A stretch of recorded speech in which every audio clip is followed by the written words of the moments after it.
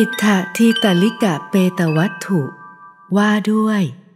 การทำบุญอุทิศให้เปรต พระศาสดาเมื่อประทับอยู่ในพระเชตวันมหาวิหาร กรุงสาวัตถี ทรงปรารบทานของท่านอนาถปินทิกะคฤหบดี ได้ตรัสดังนี้ว่า ได้ยินว่า พี่เลี้ยงของเด็กหญิง ธิดาของลูกสาวท่านอนาถปินทิกะคฤหบดี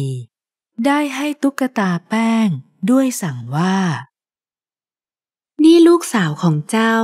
เจ้าจงอุ้มมันไปเล่นเถอะ เด็กหญิงนั้นจึงเข้าใจว่า ตุ๊กตาแป้งนั้นเป็นลูกสาว ครั้นวันหนึ่ง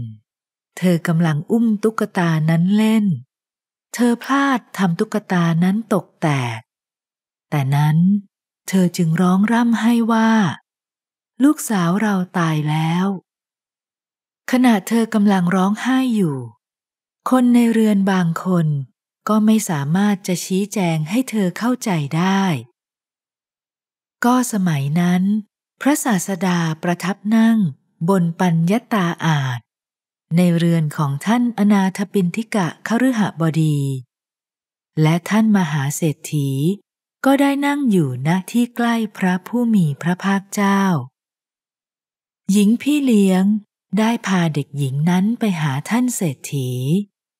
ท่านเศรษฐีเห็นเข้า จึงกล่าวว่า เด็กหญิงนี้ร้องไห้ทำไม พี่เลี้ยงได้แจ้งเรื่องนั้นแก่ท่านเศรษฐี เศรษฐีได้ให้เด็กหญิงนั้นนั่งบนตัก แล้วกล่าวว่า ฉันจะให้ทานอุทิศแก่ลูกของหนู ดังนี้แล้ว จึงกราบทูลแด่พระศาสดาว่าข้าแต่พระองค์ผู้เจริญ ข้าพระองค์ปรารถนาจะให้ทาน อุทิศแก่ตุ๊กตาแป้ง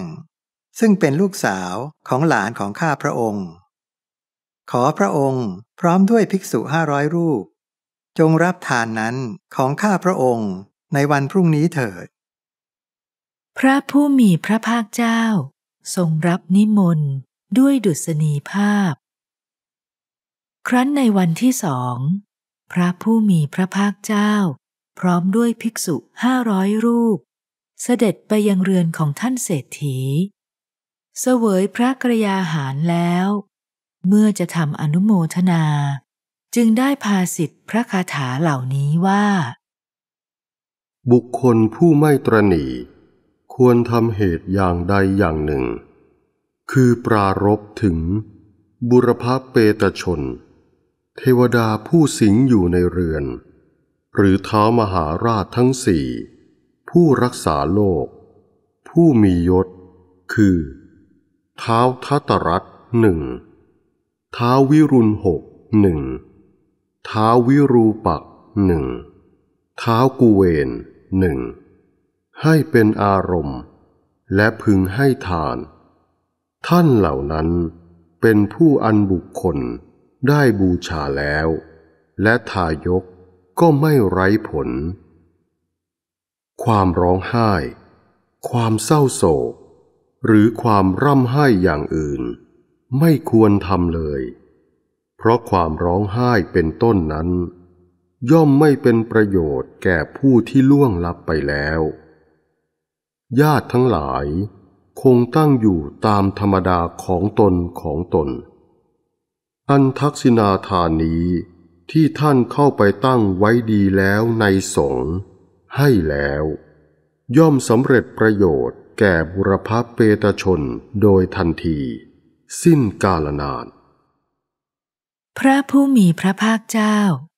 ครั้นทรงแสดงธรรมอย่างนี้แล้ว ทรงกระทำให้มหาชน มีใจยินดียิ่ง ในทานที่อุทิศเปรตแล้ว เสด็จลุกจากอาสนะหลีกไป วันรุ่งขึ้น ภริยาเศรษฐีและพวกญาติที่เหลือ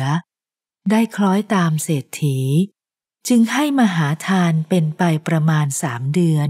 ด้วยอาการอย่างนี้ลำดับนั้น พระเจ้าประเสนที่โกศล เสด็จเข้าไปเฝ้าพระผู้มีพระภาคเจ้า ทูลถามว่า ข้าแต่พระองค์ผู้เจริญ เพราะเหตุไร ภิกษุทั้งหลาย